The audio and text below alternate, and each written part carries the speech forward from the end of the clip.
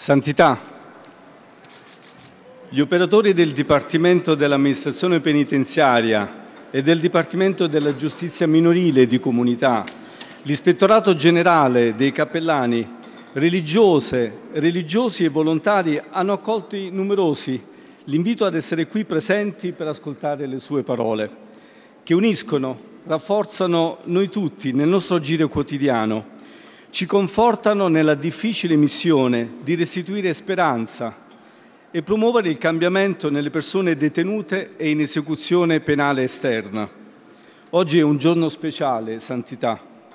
Per la prima volta migliaia di operatori e volontari, insieme ai loro familiari, incontrano Sua Santità, uniti nel sentimento della solidarietà, dell'amicizia e della fratellanza che accomuna crea relazioni tra pari, fuori da ogni ruolo e gerarchia. Abbiamo bisogno, santità, del suo conforto e delle sue esortazioni a essere migliori, a guardare all'altro come nostro fratello e a sforzarci perché ogni giorno sia un giorno nuovo per il cambiamento, per rendere questo mondo in cui viviamo, lacerato da conflitti e da ingiustizie, un posto dove ci sia spazio per tutti, dignità e rispetto dei diritti umani. Nelle nostre carceri tocchiamo con mano la sofferenza, la povertà, la solitudine. La società ci chiede di garantire sicurezza, di proteggere i cittadini e di tutelare le vittime. Una pena che rispetta i diritti umani, che non toglie la speranza ai colpevoli, che tende la mano agli invisibili, è già una risposta al legittimo bisogno di sicurezza.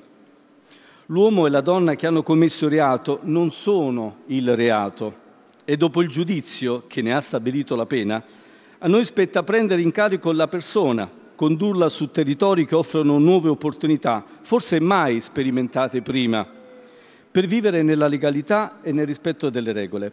Fuori dal carcere, al termine della pena, il nostro lavoro ha termine e allora il cambiamento reale può realizzarsi se la società tutta si assume le proprie responsabilità e guarda al carcere come parte integrante della stessa società civile e ai detenuti come cittadini. Questa grande comunità che opera nelle carceri del nostro Paese, presente in questa piazza oggi, simbolo della cristianità, è testimone di un impegno che sfida i luoghi comuni, è un esercito di pace e di speranza.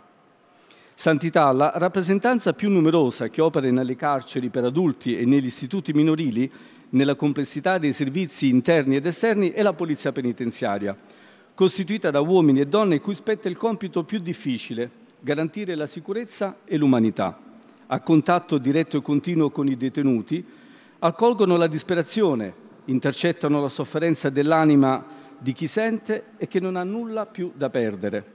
E allora, nelle ore in cui il carcere si svuota, le attività rieducative si concludono, mentre gli altri operatori e volontari terminano la loro giornata di lavoro, tocca alle donne e agli uomini della Polizia Penitenziaria gestire il carico e la responsabilità sia della normalità che dell'imprevisto, dimostrando come la propria professionalità sia un insieme di capacità operative, saggezza, intuito, rapidità, coraggio e umanità.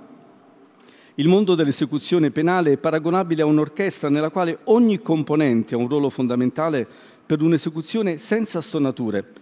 I livelli di responsabilità sono differenti, certo, in, ruolo, in relazione al ruolo ricoperto, ma tutti concorrono ad una gestione che sia trasparente, efficace, efficace ma soprattutto umana. E tutti, santità, vivono la responsabilità, la soddisfazione e la frustrazione la fatica e la consapevolezza di svolgere un compito che è rivolto alla persona, alla giustizia, alla sicurezza e all'aiuto.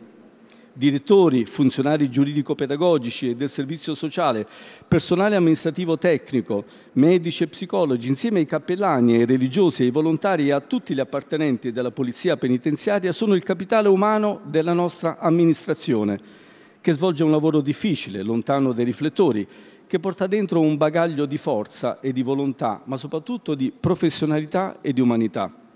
Grazie Santità per averci donato questa intensa giornata. Grazie da parte di tutti i presenti e delle altre migliaia di operatori che oggi sono al loro posto di servizio. Santità mi consenta di rivolgerle il mio personale ringraziamento e di invocare la sua benedizione per tutti noi. Grazie.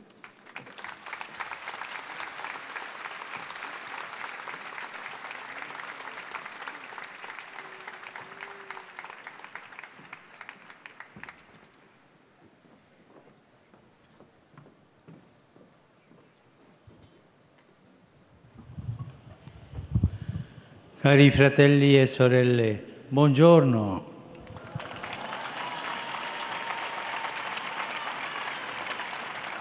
Vi do il benvenuto e ringrazio il capo del Dipartimento dell'amministrazione penitenziaria per le sue parole.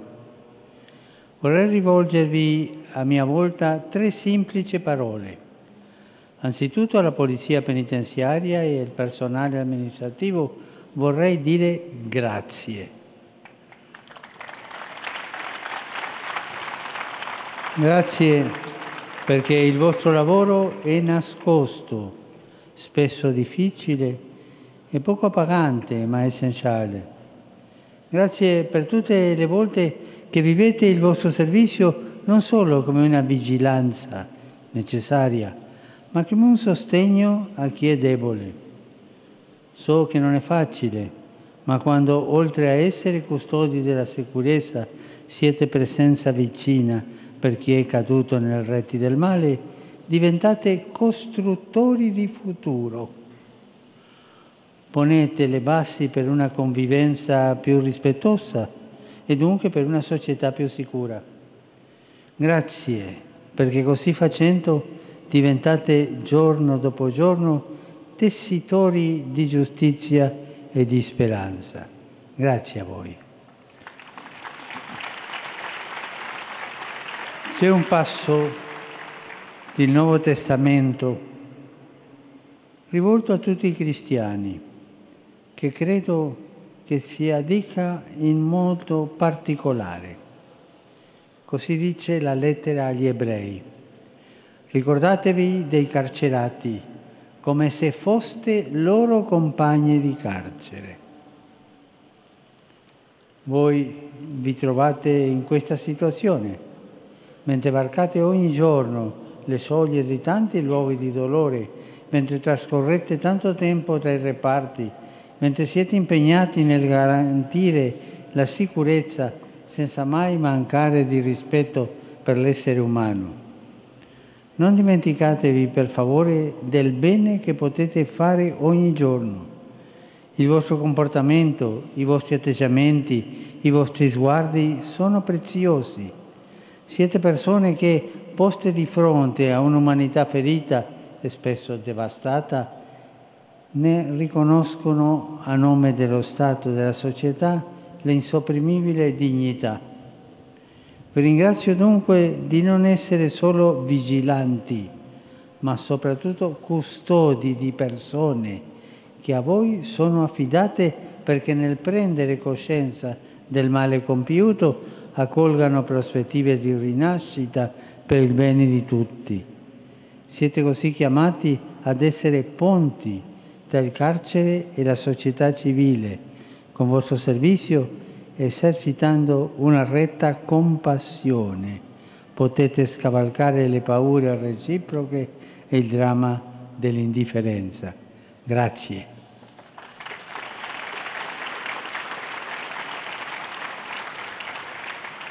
Vorrei dirvi anche di non demotivarvi, pur fra le tensioni che possono crearsi negli istituti di detenzione nel vostro lavoro è di grande aiuto tutto ciò che vi fa sentire coesi. Anzitutto il sostegno delle vostre famiglie che vi sono vicine nelle fatiche e poi l'incoraggiamento reciproco, la condivisione tra colleghi che permettono di affrontare insieme le difficoltà e aiutano a far fronte alle insufficienze.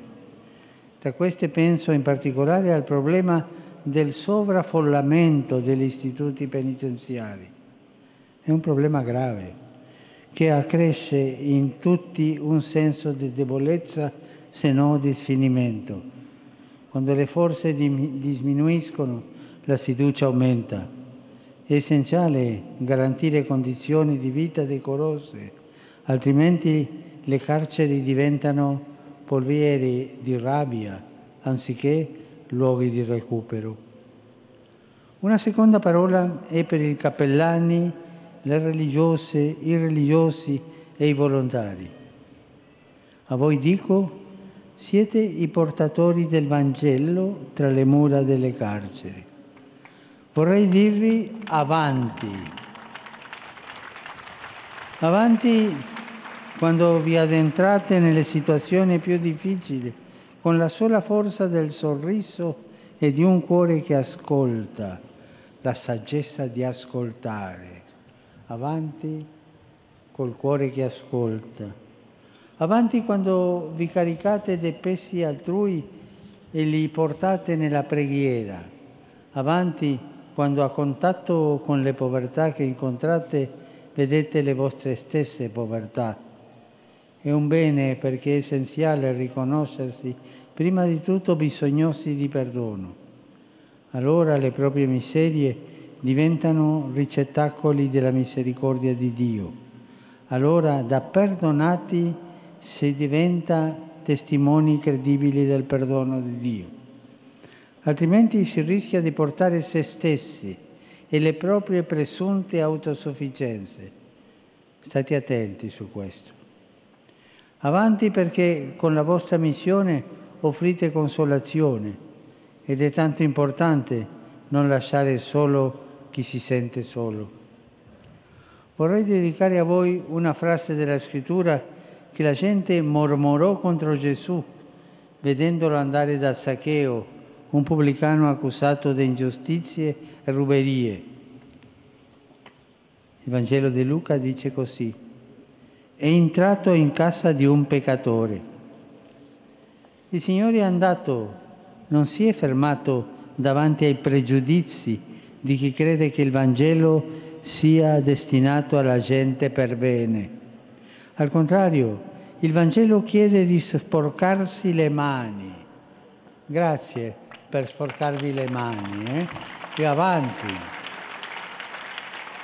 Avanti allora con Gesù e nel segno di Gesù che vi chiama a essere seminatori pazienti della sua parola, cercatori instancabili di ciò che è perduto, annunciatori della certezza che ciascuno è prezioso per Dio, pastori che si caricano le pecore più deboli sulle proprie spalle fragili, avanti con generosità e gioia, col vostro ministero consolate il cuore di Dio.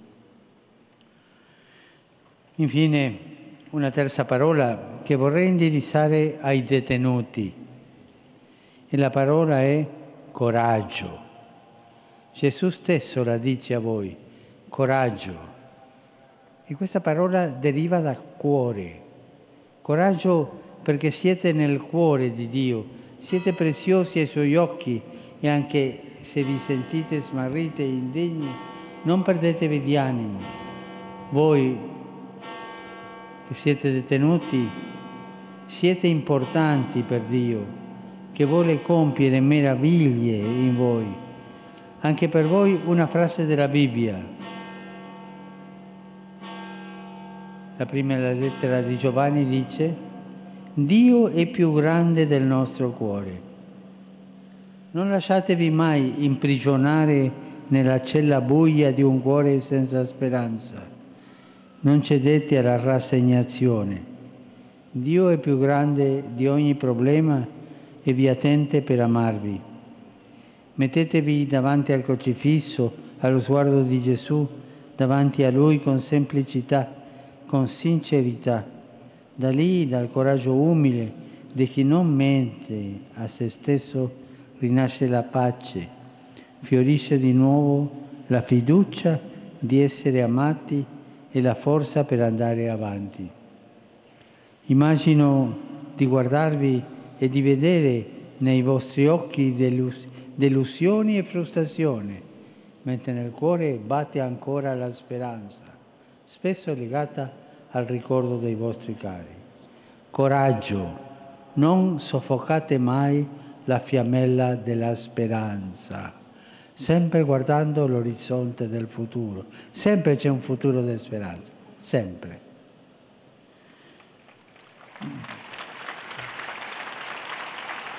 Cari fratelli e sorelle, ravvivare questa fiammella è dovere di tutti. Sta ad ogni società alimentarla, fare in modo che la pena non comprometta il diritto alla speranza, che siano garanzie prospettive di riconciliazione e di reinserimento. Mentre si rimedia agli sbagli del passato, non si può cancellare la speranza del futuro. L'ergastolo non è la soluzione dei problemi. Lo ripeto, l'ergastolo non è la soluzione dei problemi, ma un problema da risolvere. Perché se si chiude in cella la speranza, non c'è futuro per la società. Mai privare del diritto di ricominciare. Voi, cari fratelli e sorelle, col vostro lavoro e col vostro servizio, siete testimoni di questo diritto, diritto alla speranza, diritto di rincominciare. Vi rinnovo il mio grazie, avanti e coraggio, con la benedizione di Dio, custodendo coloro che vi sono affidati. Prego per voi e chiedo anche a voi di pregare per me. Grazie.